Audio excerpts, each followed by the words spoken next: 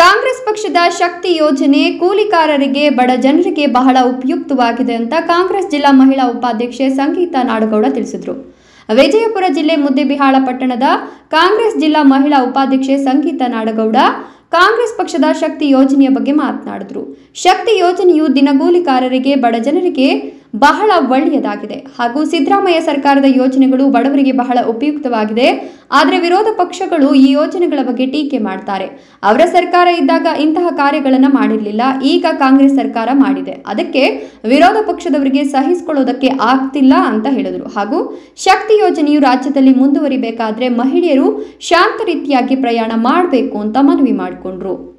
Wajid Chaudhary NKS TV four, Muddebihal. ಎಲ್ಲರಿಗೂ ನಮಸ್ಕಾರ.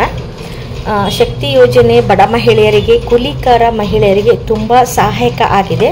Shri Siddaramaiah sir ನೇತೃತ್ವದ ಕಾಂಗ್ರೆಸ್ ಸರ್ಕಾರದ ಯೋಜನೆ ಜನರಿಗೆ ಬಹಳ ಉಪಯುಕ್ತ ಆಗಿದೆ. ವಿರೋಧ ಪಕ್ಷದವರು ಹಾಗೆ ಟೀಕೆ ಮಾಡ್ತಾರೆ. ಅವರ ಸರ್ಕಾರ ಅವಧಿಯಲ್ಲಿ ಇಂತಹ ಕಾರ್ಯ ಮಾಡಿರಲಿಲ್ಲ.